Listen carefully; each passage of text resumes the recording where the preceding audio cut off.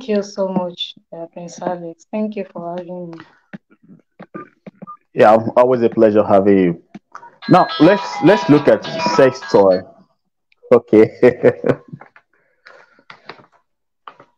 uh, sex toys are, are, materials or devices made uh, in the image of genital for sexual stimulation. We have the, for the male and we also have for the female. Mm. So, so now uh, let's look at the use of it. Uh, people will tell you, I prefer using the sex toy to uh, having sexual intercourse with a male. How safe? How safe? Let's look at from head to angle now. How safe it is?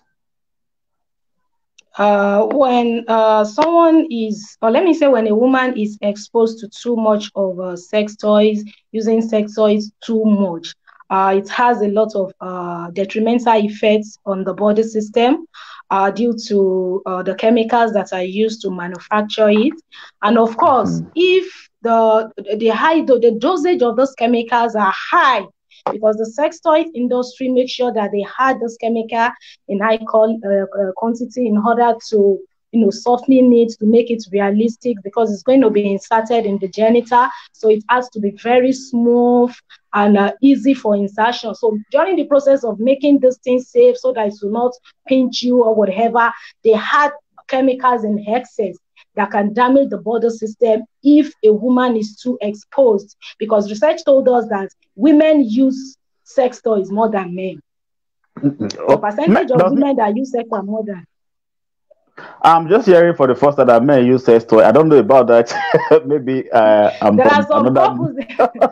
uh, some couples prefer. Some couples use sex toys during intercourse. Some couples, the two, the man and, okay. and the woman, might use some certain sex toys during sexual activity. Yes, but uh, women use it more than men. Yes. Okay, now let's look at. Uh, are there any uh, diseases or infection associated with the use of sex toy?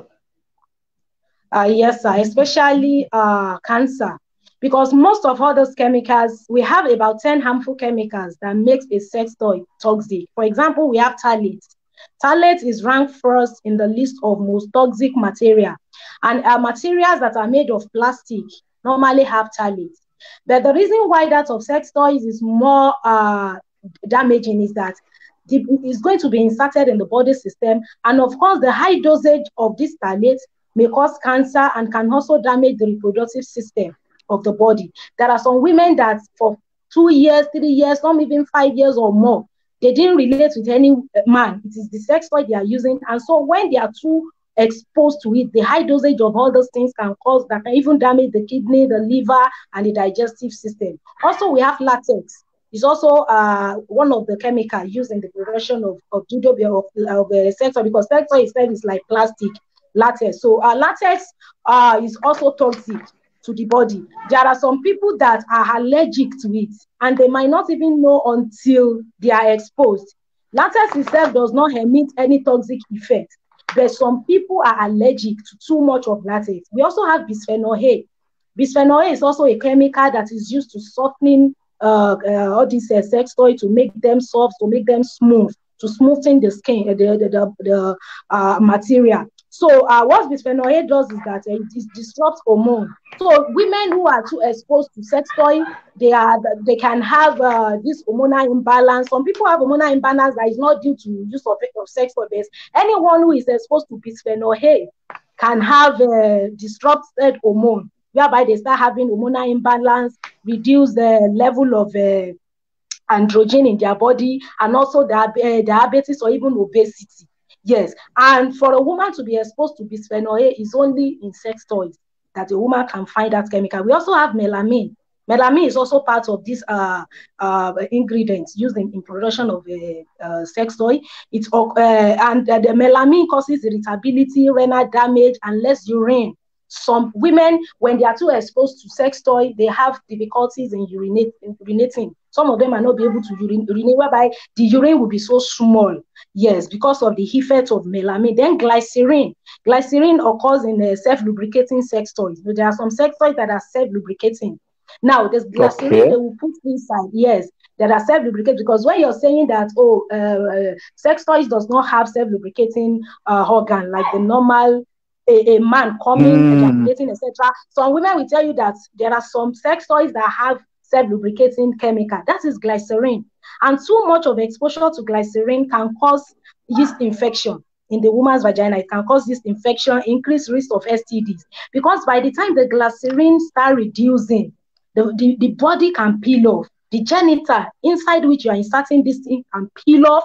And so it's now alter the natural process of vagina. Vagina is self-cleansing. It changes pH. It, it, it, it lubricates itself. That is the normal activity of the, the female genital.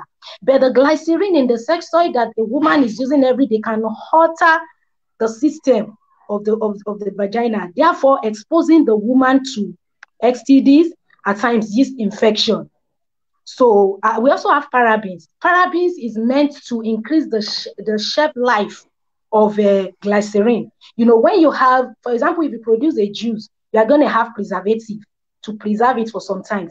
The same thing, the glycerin that is put in self-lubricating uh, sex toys, that glycerin must have an increased shelf life. Therefore, they put parabens. It is meant to protect the shelf life of liquid item. Therefore, what parabens does is that it interrupts the natural menstrual cycle and encourage the growth of cancer cells. All these chemicals that I've mentioned above, they encourage the growth of cancer cells in the body. Because when all those chemicals are in the body, they are inorganic, they cannot be broken down. It's only organic materials that can be broken down, but these are inorganic. All these bisphenol A, volatile organic compound, glycerin, all those things are inorganic. They accumulate into the body, uh, the body system, the cells and tissues of the body. That's where you have cancer of the lung, cancer of the liver. Those who have cancer, we are not saying it's only sex toys that can expose them, but those who are who are addicted to sex toy, they can be at the risk. But we're talking about we're talking about likely likelihood now, right? Yeah, yeah, yes, sir, yes, sir. Then cadmium. Okay. Cadmium is an heavy metal. Uh, in fact, it is ranked seventh, seventh world most toxic heavy metal. But what cadmium does is that it also softens material. It is used as a softener to soften the, the, the sex toy. And also, cadmium can expose uh, someone to uh, uh to cancer, also uh, cardiovascular uh, problem, neuro, neuro, neurological problem, and gastrointestinal system can be damaged. That is the digestive system. When someone is exposed to too much of cadmium, cadmium is, is one of the notorious heavy metal. I work with cadmium during my master's program that we have to spike our soil uh, with it. We got to cover every part of our body because cadmium is very toxic. It's an heavy metal that once it is inserted in the body, it cannot be broken down. So, but all those things are found in sex toys. And the sex toy industry have to put it because they want it to be softening, they want it to be soft so that it will enter the genital without any obstruction. But the aftermath effect is damaging. We also have volatile organic uh, compound, VOC, ingredient in the in, in the in this uh, sex toy. So they are present in materials that like adhesive, materials that, that, that are used like gum. So the volatile organic compound is meant to join all these chemicals together so that it will stick and become one. So this volatile organic compound also causes difficulty in breathing, too much of exposure to it, then nausea, early morning vomiting. The woman will just wake up, she's feeling like vomiting. Because if a woman is exposed to too much of this thing, it also causes skin damage, skin irritation. It damages the, the skin. We also have tri- trimethyl chloride, phenol, carbon disulfide. We have, have toluene, all these chemicals are put together. And the problem is there is no organization that regulates the sex toys industry. If that is, is what I wanted to ask now, because yeah, if if we have all these chemical substances in the the sex toy and is that damaging, why is it not being regulated? People have access to these things. These, are, these things are being sold everywhere. Why is it not being regulated? And uh, uh, there is no awareness. Awareness is not being created about the risk of all these things. Yeah, yes. You know, sex itself as a topic, people do shy away from it. Nobody mm, wants to yeah. talk about it. Have, have so a discussion, everyone, yeah. Mm, yes, nobody want to have discussion about it. So a lot of people do not know. And we live in a society whereby women, once they have issues with a man, they forget about men completely. So they look for alternative. And so who now have time to start reading, start doing research about all those things. Apart from even all these chemicals, there are other effects of sex toy that we are going to talk about, but this chemical first, because all those chemicals we mentioned are carcinogenic, they are cancerous, they can cause cancer. They encourage the growth of cancer cells. Those ones that do not cause cancer directly, they encourage the growth of cancer cells in the body. For example, cadmium itself is, is very, very damaging. Bisphenol A encourage the growth of the cancer mm-hmm. cells if they are too much in the body. Wow. uh, honestly, if you if you are listening to us or you're going to watch this video later, if you have the intention of using such sex toy, you have to listen and listen very well and listen. To, watch this video again and again and send it. Probably send it to your friends that you know they might be using these things and let them do their own research to find out. Don't just take our word for it, but let them do another research because the essence of this program actually is to educate you on the danger of uh, or the risk uh, associated with the use of sex or you call it libido. Because uh, uh, Jumoke is she's a sex therapist and she's a human biologist also. So she knows what she's telling you, but the risks that are involved. Many of you at a certain age, you don't actually know what hit you. You don't know the problem you are having actually is a sex toy that you have been used to. Now let's come back to you. You said there are other uh uh, uh what do you call it um other chemicals that are actually uh, yeah. uh effect. There are other effects Apart okay, from okay. the fact that uh, yes, apart from the fact that too much exposure to sex toys can damage your body system, give you cancer, give you urinary tract infection, gastrointestinal uh, problem, etc. Uh, the health benefits of sex cannot be achieved when you're using uh, sex toys. For example, now sex toys cannot alleviate your stress as a woman. One of the health benefits of sex is that sex alleviates stress, it removes stress from the body. But sex toys cannot do all this because the time that you used to come now, the time of come will be reduced. For example, if normal sex with a man is supposed to take like five or 10 minutes, when you're using sex toy, within two minutes, you have come. So that's your come time is shortened. So the time that a man will use to work on you, you know, the, the sex is not the real sex. Sex starts from the hugging, the touching, fingering, etc. So that time now, your body, your nerves will relax. There is an hormone we call cortisol. That cortisol will calm your nerves. Yeah. Serotonin is, is like a is like a neurotransmitter. I mean serotonin. So you've got to, you know, a, a man who understands your body anatomy and plays with you such that you are able to release all those special hormones like serotonin and cortisol. You will relax your stress will be alleviated. But sex toys cannot do all these things. That is the reason why women who are addicted to sex toys, they are still aggressive. They, they are still very, very aggressive, just like someone hmm. who is deprived, who is deprived, because you, the, the normal release, the normal come they are having is just like a premature ejaculation. Because yeah. the stress are supposed to air yes. So you just release. The hormones are still raging. They are angry because the, uh, the short time of release. So that's why we are saying sex toys cannot alleviate your stress. So god that created the male reproductive system does not create an alternative. There is no alternative to it. Is it that you have a man or you do not have a there man? There is so, no there is no i like i like that word. There is no alternative to it. Yes there is no hmm, alternative to the to penis, to the male reproductive uh, organ. There is no alternative. There is no object. Even if it is vibrator, some will say you plug it to vibrate. It cannot still be like a normal penis. It cannot be like a normal man. Then another thing is that uh, sex toy cannot take you through the four stages of sex.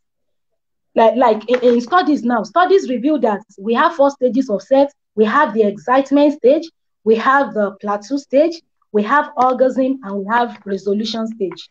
That resolution stage is the stage, or we call it the refractory, is the stage where the man will rest and he, he is ready for another round.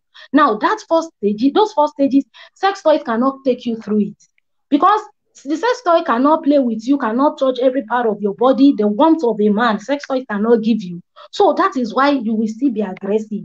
So sex toy cannot touch your body. Now, it can't be like a man coming, playing all those things because most of the time it is the women that is that are using the men say. Because the ones mm. that they, hmm. even if, if you look at a man, he can just have erection. If you look at him too much, he's already his erection has come. Mm. But a woman, you need to play with her, touch her, do every part, everything. Some women will not still get wet on time, especially those who are of age. So those stages sex toys cannot take you through those stages. Yes, uh, sex toy cannot still regulate your mood. It cannot regulate your mood because the hormone that regulates your mood now, that is cortisol, you cannot release it. In fact, there are some normal sex that if a the man does not understand the body anatomy of that woman, doesn't know where to touch her, the woman might just do the sex and she will still not be okay. So now, for a sex toy now cannot touch you such that you release cortisol that will regulate your mood. So you will still be having mood swing, all those uh, effects of sex abstinence will still be on women like that. So uh, sex toy is not advisable. Sex toy cannot still boost your immune. It cannot boost your immune system. You know that normal sex with a man, you release immunoglobulin A, which is a chemical that will boost your immune system and makes you to be resistant to certain infection and diseases. If you see a woman who is not deprived, who is having regular sex, that woman cannot be having all these short, short headache, temperature, some will just wake up, they will be moody, all those things. But because that type of, of woman is getting a normal sex with a normal man, and such woman will not be falling sick every day because immunoglobulin A helps your immune, it builds the immune system and makes your internal body to be strong and healthy. Sex toys cannot give you that one. Sex toy cannot give you the immunoglobulin A that will boost your immune system. Then the flesh to flesh touch of a man. The, the, the sex toy cannot touch you the way a man will touch you. The lubrication that we are saying glycerin that we even give you self lubrication, self, the lubrication of glycerin cannot be equivalent to the lubrication that you will get in a sperm cell. Sperm cell contain about 30 components. Inside that sperm, we have potassium, we have magnesium, we have calcium, we have uh, creatinine, we have all kinds, we have zinc that will help your body to produce protein that will make mm, your skin mm, shine mm, and fresh.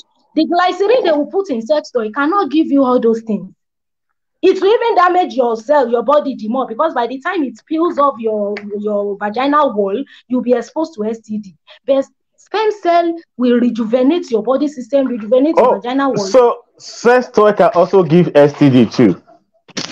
Yes, it, it, it is not as if it can give it directly, but when you are exposed okay. to too much of sex toys, the vaginal okay. wall can peel off. By the time it peels off, okay. then the woman is exposed. The woman is exposed to STD or any okay. kinds of diseases. So uh, that is it. Then sex toys cannot reju- rejuvenate your vagina the way sperm will do. It cannot rejuvenate or replenish your, your, your vaginal wall. It cannot do it. Also, uh, sex toy can give you urinary tract infection if you don't know how to clean it. Some people will say uh, they will put one liquid. You'll be using the liquid. Before you know it, the liquid will get exhausted. You'll be using ordinary water. How many people now have time to go and boil water and be using hot water to clean up sex toy? When they finish using it, they keep it somewhere. Next time they still take it and use again. It will give you urinary tract infection. Before you know it, some women they will start urinating. They won't feel like they want to urinate. They just urinate. So dropping dropping of urine will be coming from their body system if they are too exposed to sex toys. So there is no hmm. alternative to a man. If you have issue with a hmm. man, instead of it's either you have a man or you don't have a man. You cannot rely on sex toy. It has a lot of damage. Like someone that has urinary tract infection now, will she be using hmm. pampers and be? I don't know. So Siemens does not have alternative. So uh uh those are, and, and apart from that, uh, we are saying that uh, there are some hormones that you will not release. But even if you come as a woman, the you uh, when you come, you release oxytocin, which we all know that from come you release oxytocin. That oxytocin is a bonding mm-hmm. hormone and pheromone. When you release oxytocin, which is hormone that is supposed to make you to bond, but you're releasing it with a sex toy. So who are you bonding to? You're bonding to plastic. Automatically, they, that's why they, they become addicted that's why they become addicted because the, the oxytocin they release now will make them to bond to that thing or that person that makes them to release it. So you are bonding to nothing. Because you cannot say oxytocin, oxytocin should not come because when you release, oxytocin will come, dopamine will come, endorphin will come. And each, each of those hormones has the work they do. Oxytocin makes you bond. You're bonding with plastic. You're, it's as if it's, it's crazy. I don't know. But that is what is happening. That's why they get addicted. They get addicted to plastic. That when you mention a man, any woman who is used to sex toy, if you mention a man where she is, she will fight you. they didn't want to listen. They didn't want to talk about it because they believe they have alternative because they are addicted Mm. to it. Yes. So uh, that is it. And the components of sperm cell cannot be found in sex toys. No, the way the, the the man organ will work on you, touch every walls of your body, of your vagina. The um, uh, sex toy cannot do that because sex toy is an inanimate object. It's just like when you when a woman want to have a baby, she needs to give birth. If the fetus is alive, you see, as the woman is pushing, the fetus is also trying to come out. But let us assume it is a stillbirth, whereby the baby is already dead. The stress will be too much on the woman to push out a stillbirth. That's why it's so Mm. difficult. It's so difficult to give birth to a stillbirth compared to a living baby. So now the work a living organ, which is penis, will do on you, even if the man is not trusting, he's just lying down on you. You feel that a living thing is in you. Not to talk of so if you now compare to an inanimate object, that one cannot do the work that a penis will do. You can't compare. You can't compare. So uh there's nothing in sex toys for those who use it because it cannot achieve the the F benefit of sex. It only damage them the more. So I pray they listen, honestly. Honestly, I pray. Honestly, I pray they listen, and I pray that this uh, video will get to those who will actually need it. Because to what you have said right now, actually, I don't see anything pleasurable about the sex toy. I don't see anything. Yeah. But I want to ask you: Is there anything between sex toy and vibrator? I thought both of them are the same. Vibrator is just that the difference is vibrator, you plug it. You plug Okay. it so that it vibrates. You it vibrates. But the other one, both vibrator and the sex toy are, are collectively called sex toys. But the vibrator, I think, is more expensive and it is more advanced because it vibrates. Mm, The, the, the ordinary one does not vibrate.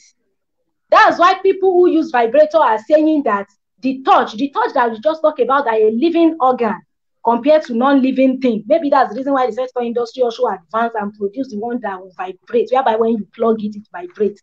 It's still dead, it's still dead organism thing. It's still a non-living thing. It still cannot be like the normal penis. Yes. You see, what I what I find very funny about all of these things is is this. Uh, people will tell you, I don't need I, I don't need the touch of a man. But when you are using this vibrator or the sex toy, you still have the image of a man in your head, or else you Yes. can come. Uh, you still wish, you still imagine as if a man is touching you, or maybe the woman is touching herself, imagining that it is a man that is doing all the touching. Let's look at the psychological effect of all these things. Let's look at it from that perspective now. Um, I imagine it's a man that is touching me. Actually, it's not a man. I, I just sum some of him. I just pop up a the image of a man in my head. Why I'm why I'm doing whatever I'm doing. Does it have a psychological effect on them over a long period of time? Yes, it does have. It has because uh, when you are imagining the presence of someone without the Hmm. person being available, it's more or less like it's having detrimental effects on your mental health as a woman. That's why we are saying that all the effect of the the effect of sex abstinence will even be more, and the likes of depression, mood swing, uh, men, uh, imagination, like hallucination. Someone in, is hallucinating, is imagining the presence of someone. That is more or less mental problem. So Hmm. that's why women who are true, reliable, who get married to do to sex toys, they don't have they really have good relationship with people. They have mental issue. They have depression. They have dementia. Yes, because I, I don't think a normal human being will live a human being and be bound uh, to to just I don't know how don't- to to inanimate objects. And when there are people around you, there are men around you, you just get bonded to. You say, "Oh, I'm comfortable. I'm safe with this," and you go to the market, use your money to buy them with different shades and everything. Then you bring them home and you start using them, and you are comfortable. I think that person is not normal. You know? It's not a human being Yes, because yes, yes. an average normal human being want to relate with human being in all sphere irrespective okay i think i some somebody told me that uh, why people use it because they they fear heartbreak i say heartbreak is you can have a guy who actually both of you could be uh people have uh, what they call it uh friends with benefit let me use that word yes. uh, have friends with benefit It's yeah, it's more preferable than using the sex toy than getting born with the sex toy. Now let's look at um, let's take it from another perspective now. Uh, how because let's look because you can't stop people from using it. How often can we say it might likely be safe? Likely be safe for people to use sex toy. To be once in a month for those who people who use sex toy are always having this excuse that the husband is not around, they didn't want to go out. For those who are saying they cannot do without it, it, it should mm. just maybe once in a while, one off, maybe within a month, but it is still dangerous because you get addicted. Once you release with a man or with anything, you release oxytocin, which, which makes you born. That's why people are used to masturbation, are used to sex toys, they are addicted because you bond just the way a woman is addicted to her husband. A woman who is in love with her husband, you, you bond. That's why it's difficult for a woman to go out. Once a woman starts going out, definitely her mind is already bonding with the man. Mm, it, mm, it's a man that can, yes, he's a man that can do sex without loving the girl. Whereby a, a man will have his wife at home, love the, the wife, and still do one girlfriend somewhere. He doesn't love that girlfriend because a man is going for a woman. But what makes a woman sleep out Her mind is already with that man there.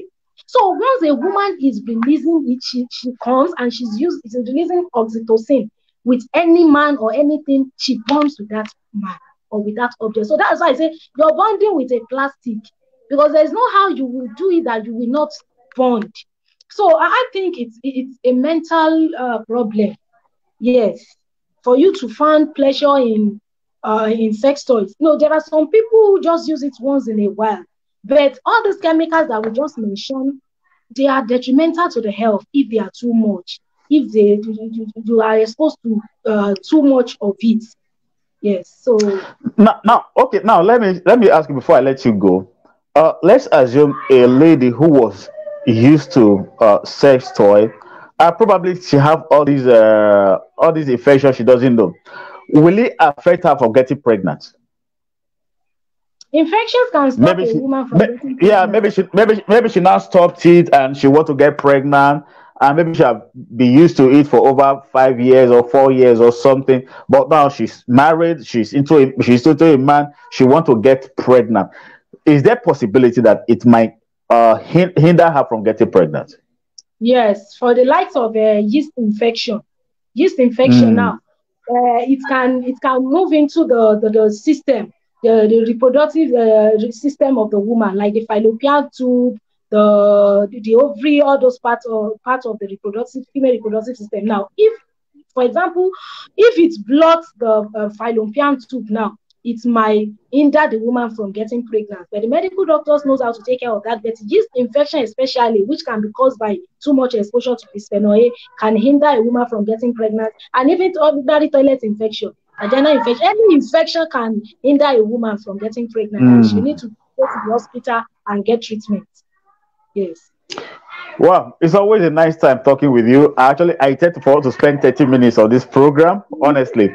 It's always a nice time talking with you. Whenever I talk with you, uh, you are always on point. You are always, in fact, I don't know, you're so amazing.